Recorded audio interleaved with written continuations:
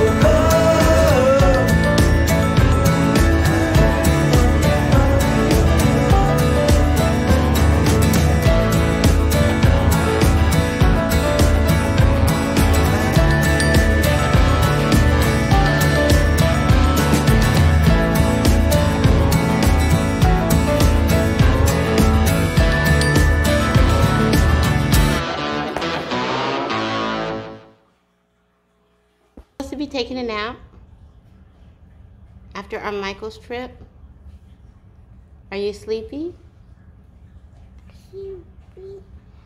Sleepy. Okay, can we go get in the bed? This little quickie, but again, I think I always forget to remind everyone. Please like, subscribe, come check me out. Look. Here, take your hand out. Say like, Look. subscribe. Guys. Say later.